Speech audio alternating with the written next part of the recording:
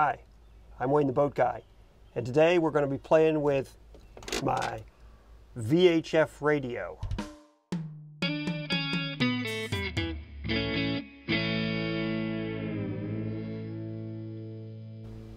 Let's talk all about how we're supposed to use this thing, because I had no idea how to use it.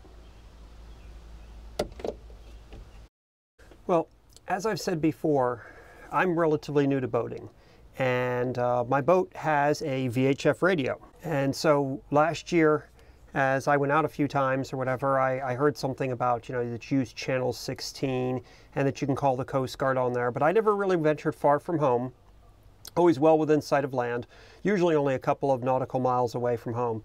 And uh, quite honestly, I never really used it. Um, I turned on the weather channel on there a few times. I'll show you that. And um, I didn't really utilize it at all. So this winter, I started kind of digging into it to try to find out really, do I need a VHF radio? What is it used for? Uh, if I'm not going out to sea, is, is it, does it make sense to have one?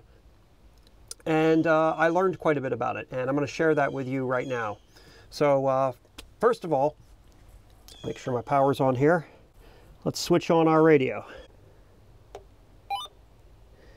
All right, now as you'll see it says MMSI is not entered. Apparently one of the things you can do is you can sync up your VHF radio with a GPS and I have a GPS depth finder or whatever and I don't know maybe it's because it's not on right now but apparently you can use that to be able to hit this distress button right here and that will identify your boat identify your location. So in an event of emergency, if you have it hooked up with GPS, something happens, you can literally just hit that button or you can tell somebody else to hit that button. So in my mind, that's a really great feature right there because my passengers might not understand how to use this radio if something happens to me. Um, also, if I'm trying to give them commands because I'm taking care of something like the transom has fallen off the back of the boat and I'm trying to keep us from sinking, I might ask somebody else to call for help. Um, by just hitting that distress button, that obviously is a very easy way to do that. Right now I have my radio tuned to uh, channel 16, but uh, let me just show you a couple of the cool things that you can do with this. And I've only just begun learning about it, and I've not actually even tried some of these things out. So we're gonna try them out together. First of all, here's my weather. Humidity was 44%.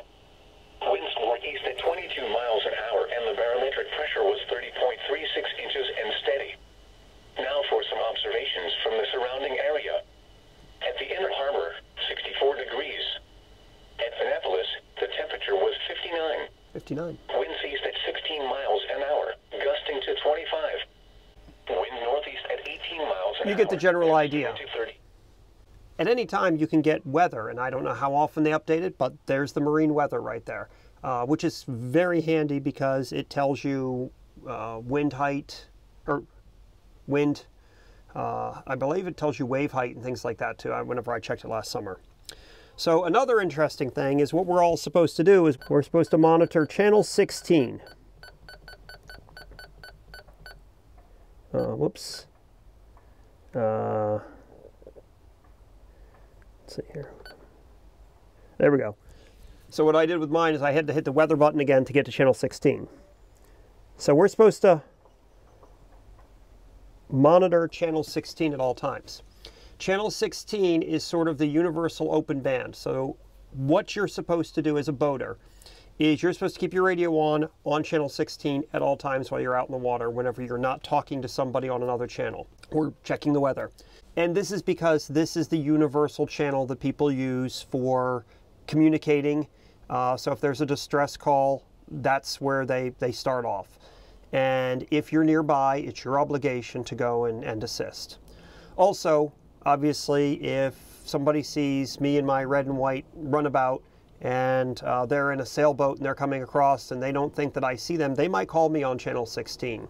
Channel 16 is good to have it on, be monitoring at all times. There's not a lot of people out today, so we're not hearing any, any activity going on here, which is a shame. I'd love to be able to hear some activity. From some of the research I've done, apparently channel 16 can be very busy because sometimes people will have whole conversations on there chit-chatting back and forth.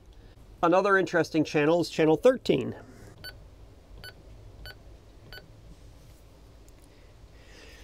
Channel 13 is for bridge to bridge, which means the ship's bridge, uh, so where the people are you know, the, driving the ships. For ships that are in the channel, uh, in the in the harbor, in the bay, and I live right off the Chesapeake Bay, so this is where larger ships should be talking to each other. Um, I don't know if we're too far because apparently one of the things that I understand too is that channel 13 is a shorter range. So channel 16 goes a longer range and channel 13 is a shorter range. Don't know how that works, but I might only be able to hear any communication whenever they're within a mile or two of me, maybe less. Now also, if you notice with my radio, it actually shows what some of these channels do.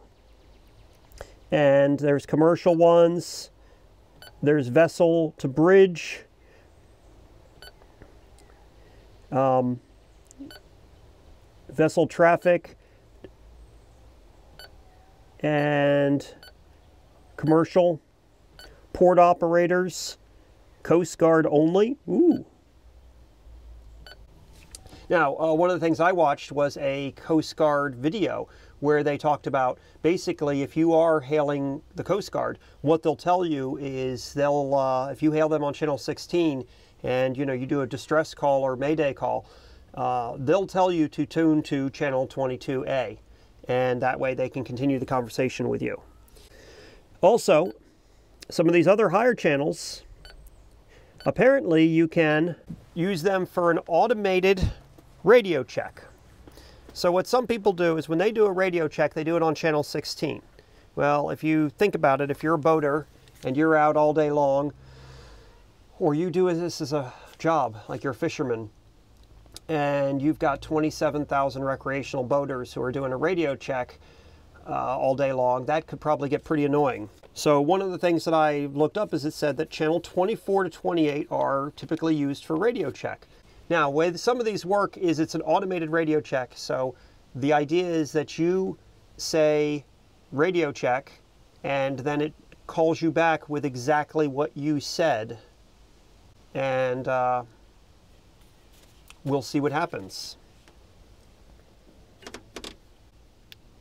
Wayne the boat guy doing a radio check.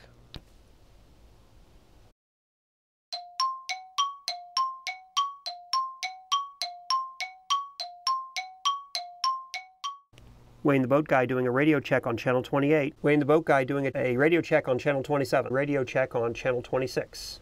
Doing a radio check on channel 25. On channel 24. Well, we still don't know whether or not this is actually transmitting.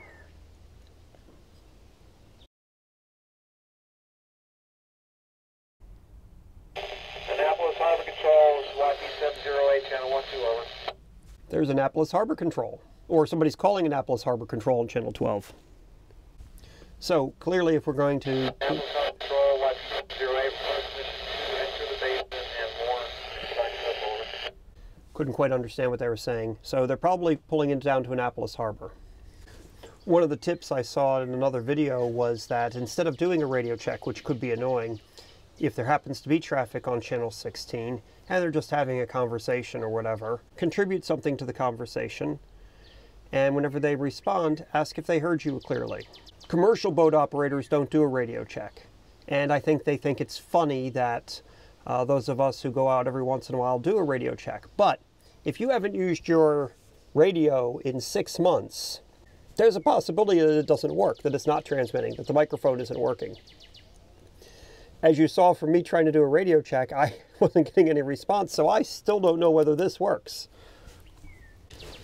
So I was originally very skeptical about why I even needed a VHF radio. Uh, I thought to myself, it's only if you go out to sea uh, or you don't have a cell phone or something like that with you.